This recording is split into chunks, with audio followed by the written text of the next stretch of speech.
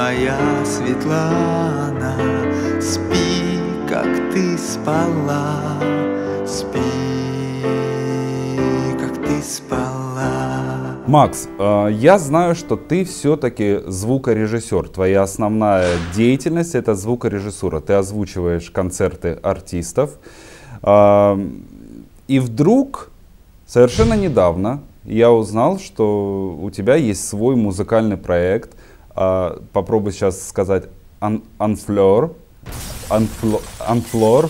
Почти, только на, на первый слог ударения. Э, ну, это английское слово, да? Да, да, это слово, оно вообще, э, скажем так, оно ниоткуда пришло.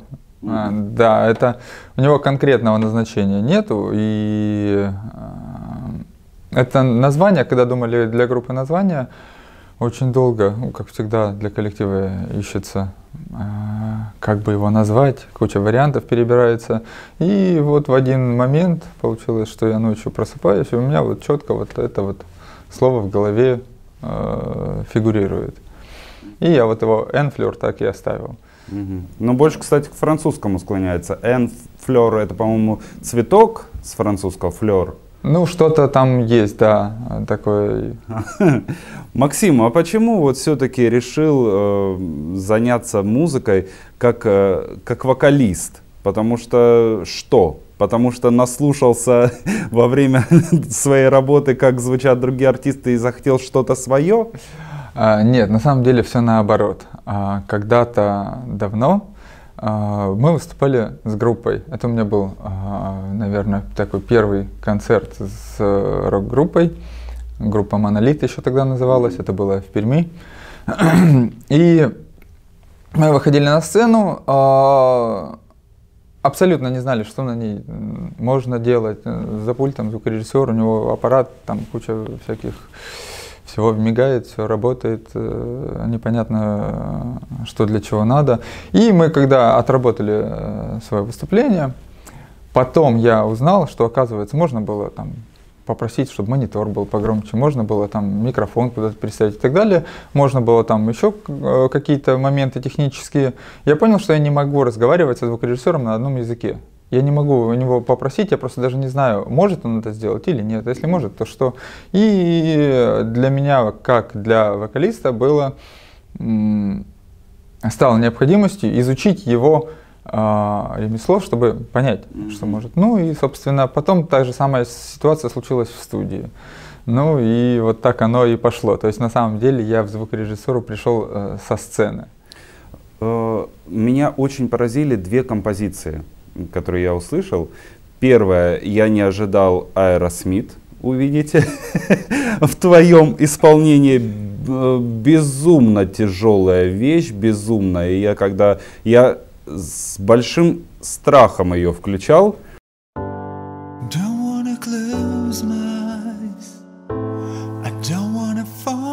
asleep cause I miss you, babe. And I don't wanna miss a thing. Cause even when I dream of you, the sweetest dream would never do. I still miss you, babe. And I don't wanna miss a thing. И вторая композиция, которая меня очень заинтересовала, это на стихи Николая Гумилева.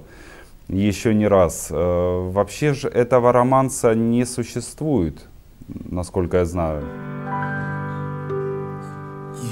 Еще раз. Вы вспомните меня И весь мой мир волнующий и странный. Нелепый мир из песен и огня. Но меж других единый, необманный. Он мог стать вашим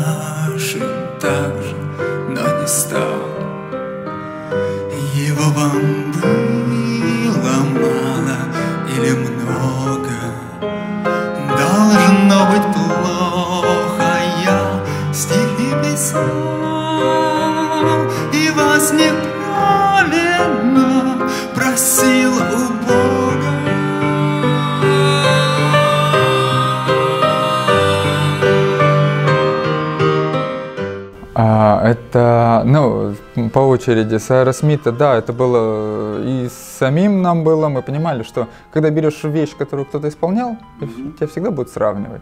Ты всегда будешь э, не Стивен Тайлер в mm-hmm. любом случае, да. Вот. Но нам э, интересно было, на самом деле это был репетиционный процесс, мы готовились э, к концерту, и Игорь там наиграл на клавишах, что-то мелодия у него пошла, и Расмит, ну я взял так немножко подпел, ну вроде бы балуемся, распеваемся и все. Он говорит, слушай, так нормально звучит. Я говорю, ну давай сделаем, ну давай сделаем, вроде бы как концертную. А потом он говорит, да, давай и попробуем, может быть, записать. Ну и мы решили тогда не пытаться снимать один в один, попытаться сделать э, такой вариант в нашем стиле камерный. Ну и вот то, что получилось, то хотя всегда есть, конечно, желание, оригинал тянет к себе, и ты понимаешь, что да, но пытались отстраниться от него максимально и сделать ну, нашу версию, исходя из тех возможностей, которые у меня есть, исходя из того, что может э, Игорь сделать. Вот. А, относительно Гумилева, на самом деле сейчас эта песня уже э, готовится, она там под нее уже струнные записали, под нее. То есть она сейчас выйдет в, э, надеюсь, в ближайшее время уже с э, полноценной аранжировкой. Э, у меня э, часто бывает, как какое-то, какое-то произведение видишь, и если оно еще ну, никем не издано, ничего, то просто смотришь, О, вот, вот надо, надо быстрее собрать, вот в нем вот так много есть, почему на него никто вообще не смотрит, оно же вот mm-hmm. такое.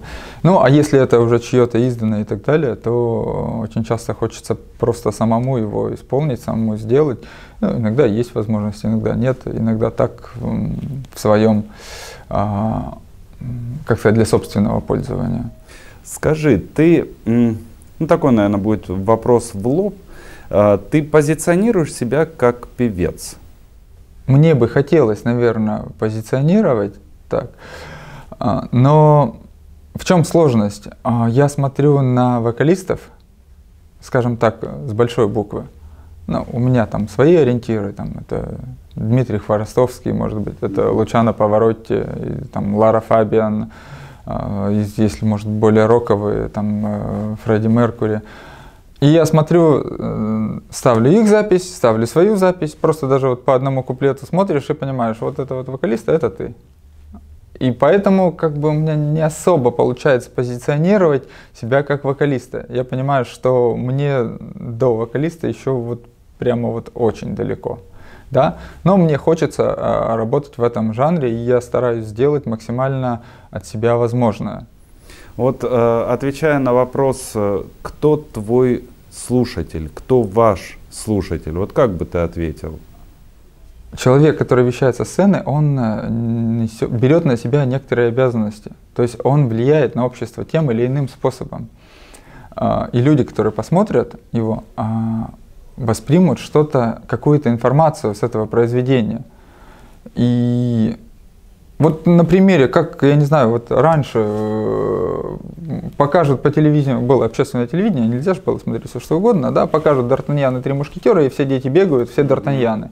Можно сказать, ну как, ну просто же фильм, а все бегают Д'Артаньянами. И здесь то же самое, это влияние оказывается в большей или меньшей степени. Дети, посмотрев э, спектакль в театре, выходят и начинают как-то использовать фразы, которые он услышал только что в театре.